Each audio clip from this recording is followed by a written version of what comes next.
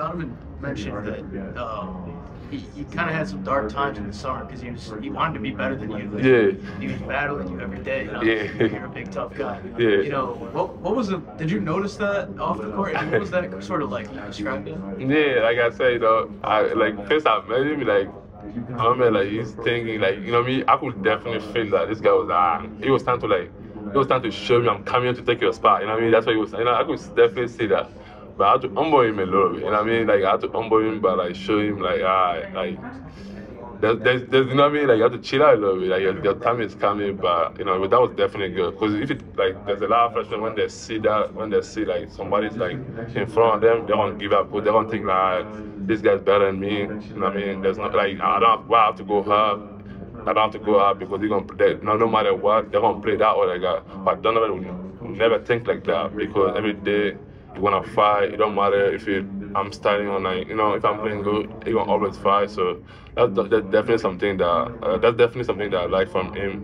Like I don't remember one day that like he got mad because I like I was like killing on practice or something like that. Nah, nah, nah, nah I don't remember that. Yeah, yeah. He always it was every day. He was every day he came to learn. You know, so he gonna be like he gonna be a great player for sure. Yeah. How much, you know, for, for you personally, how much did that really change the way that you approach practice and approach the games now that you have that challenge? Yeah, definitely getting that challenge. I was like, uh, I didn't have time to like definitely like uh, to relax. So every day I'm thinking like, oh, this guy is coming to like bust my ass. You know what I mean? Like that's what his mindset to go come bust my ass every day. So like, so that's why like, I start going to the gym more. Cause I want to work on my, you know what I mean? I start like taking everything, every detail, like uh, every detail like very, serious. You know what I mean? So I know like somebody's behind me who's ready to take my spot. So yeah, having like definitely make me sure like having done uh, this team make sure like I was in the right, uh, right, uh, push, it pushed me to be in the right direction. Yeah.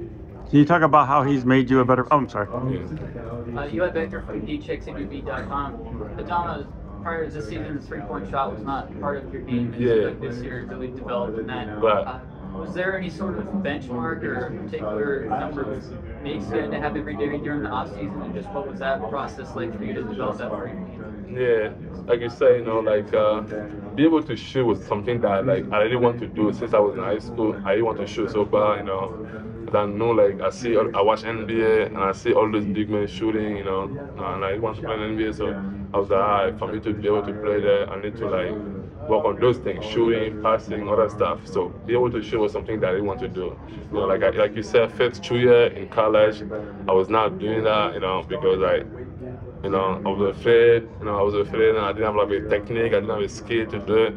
But that don't stop me to work on it. My freshman, I remember my freshman year, uh, after the season, like I went to Atlanta to see my high school coach. You know, we, like I stayed there for like a month, just work on my form shooting, like, just work on my form shot. I did the same thing my sophomore year, you know, like uh, I did that all the time. Like uh, so, last time, uh, you know, after watching some film, like work on my uh, I work on the skill. I was able to like this year, you know, I was not nervous about it. I was like, all right, if I'm open, I'm like, no, I'm taking it. So, yeah.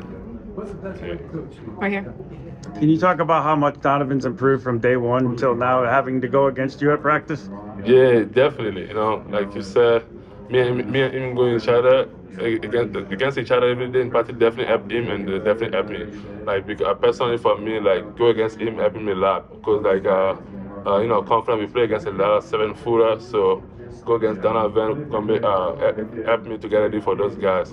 And I think he helped Donovan to go against me because like uh like because of the way I'm skilled, you know, so you're gonna like you're gonna help me to have like more skill, you know, be, be a better uh, be a better big man, you know, in, uh, in the future for sure. And going against somebody of your physicality, which you, Yeah. we obviously all know how physical the Big East is, so that Right. that had to have helped him as well.